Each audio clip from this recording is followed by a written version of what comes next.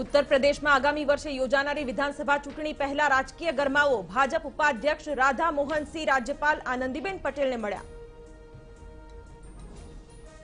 Curfew મુક્ત થયું ઉત્તર પ્રદેશ. નોઈડામાં આવતીકાલથી તમામ બજારો ખુલશે. માત્ર ચાર જિલ્લાઓને છોડીને તમામ શહેરોમાંથી લોકડાઉન હટાવાયું.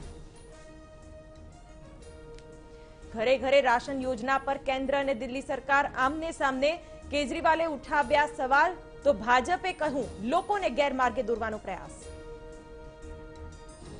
કોરોનાની બીજી લહેર વચ્ચે પણ કૃષિ ક્ષેત્રનું દમદાર પ્રદર્શન. દેશમાં અનાજનું રેકોર્ડ બ્રેક ઉત્પાદન ત્રણ ટકાથી વધુ રહેશે ગ્રોથ રેટ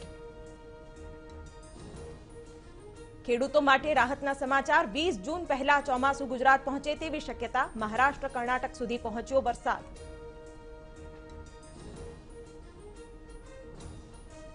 છેલ્લા ત્રણ ચાર દિવસથી રાજ્યમાં વરસાદી માહોલ, બનાસકાંઠા, સાબરકાંઠા, ડાંગ, જેતપુર, જુનાગઢ સહિતના વિસ્તારોમાં વરસ્યો વરસાદ.